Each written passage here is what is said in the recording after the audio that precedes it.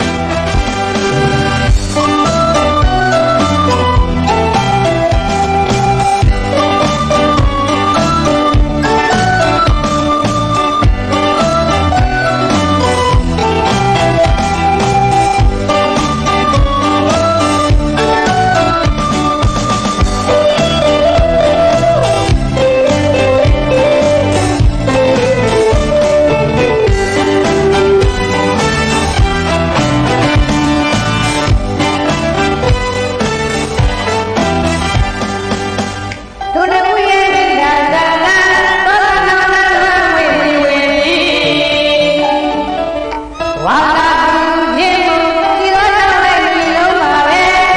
အောင်မြင်တာတော့ရောက်မှာအစမြလေ